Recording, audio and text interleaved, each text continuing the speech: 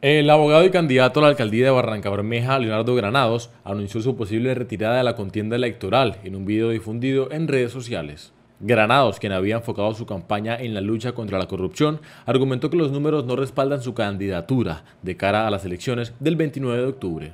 Apreciados barranqueños, el día de hoy es un día muy importante, decisivo.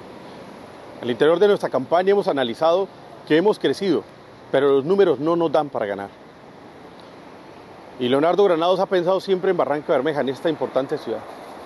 Hoy me llega información de que de la campaña del alquilismo se quieren robar las elecciones.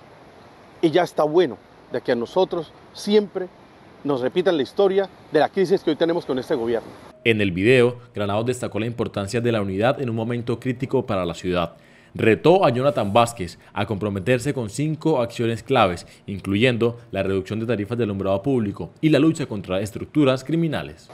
Por eso quiero retar hoy al muchacho Jonathan Vázquez y quiero que me escuche, Jonathan, y lo reto a que si usted asume el compromiso de acabar la estructura corrupta de iluminación de Ariguíes, de volver público el alumbrado público, de crear la empresa, empresas públicas de Barranca Bermeja, de garantizar bajar las tarifas en alumbrado público, de hacer la amnistía del 70% para los usuarios.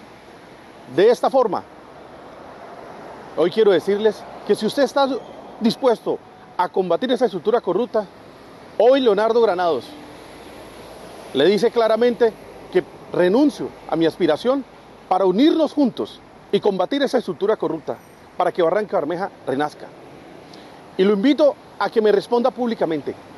Este es un momento importante de honor por la democracia, porque de esta manera podemos salvar a Barranca Bermeja. Este inesperado giro en la campaña electoral de Barranca Bermeja marca un momento crucial en la carrera hacia la alcaldía. La respuesta de Jonathan Vázquez y el efecto de este desafío en el panorama político serán temas claves en las próximas horas.